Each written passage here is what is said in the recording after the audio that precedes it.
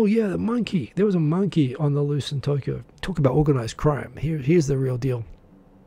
So I got, um, you know, being in the, the, the you know having a kid in school, there there are these sort of local district um, updates on. Um, in fact, I wonder if it will do this without playing sound. Let me explain. I live in um, an area with the son going to school. There are updates that you get from the police that there are like suspicious people walking around, and one of those updates came in, and but it wasn't about a suspicious person. It wasn't even in the area that I live. It was about a monkey on the loose in Tokyo. Uh, of course, Japan has monkeys. There are Nipponzaru. They're they're literally Japan monkeys. Uh, you don't normally get monkeys. You get them all over the place in Japan, but not inside Tokyo. Apparently, one was spotted in Arakawa-ku, and uh, yeah, it was actually causing. I wanted to show you the video because it was actually there. The TV crews running all over Tokyo trying to find this one monkey. It's like a little cat-sized monkey that's running around. Um, they can they can be pretty nasty in towns that have them and have a lot of them. They can attack people. They they you know they're pretty mobile. Um, they bite and whatnot. You, you, know, you can get rabies and stuff from them. So, you know, you don't want to approach them. And that's what the notice was. If you see a monkey, um, you know, run away and don't startle it, don't try to feed it. Um, so, yeah, TV crew started scouring Tokyo for the monkey, and uh, one uh, TBS camera crew found it. And uh, when they did, they immediately startled it and chased it. Uh, they did all the things while warning people not to do what they were doing. Uh, the monkey got away. Um, it's still been on the loose for a couple of days. It's been migrating from Nishi Nippori through Nippori through Kitaku, uh, Kitaku. And um, yeah, no, no update. They haven't been able to catch it. The police were sort of chasing it. It was great entertainment on the news, but uh, yeah, monkey on the loose in Tokyo. It was actually, um, it was, it was kind of nice. it was nice to see something different. So that was a thing that happened final comments. We've got AV84K. Did police tell the monkey to stop monkeying around? I'm sure they did. Uh, that that and many other things.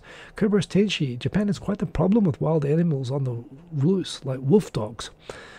Um, Okami. I don't know they Okami. Are you talking about raccoon dogs? Tanuki Tanuki are everywhere. Yeah, those are those are a thing, including Hakubishin as well lately. Now you've got uh, civets and stuff like that. Yeah, there's definitely the thing about Japan is that Tokyo is enormous, but it's also incredibly dense, and it's not far to get to mountains. Um, you know, and, and, to rugged nature. The thing, and, and when you get to it, it's so rugged. You know, it's so mountainous that you can't build anything on it.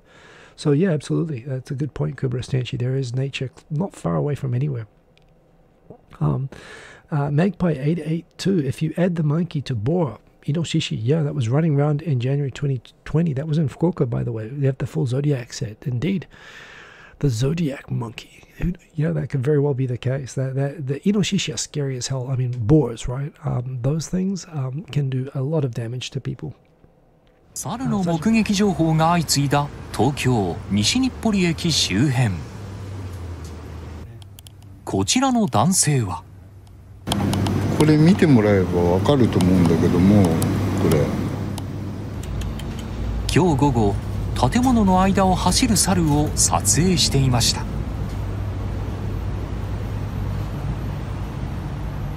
猿ってびっくりだよ。東京の住宅街に突如現れた野生の猿。男性にインタビューをした15分後でした猿です猿。猿いたいたいたいたい。た猿がいました。猿が今フ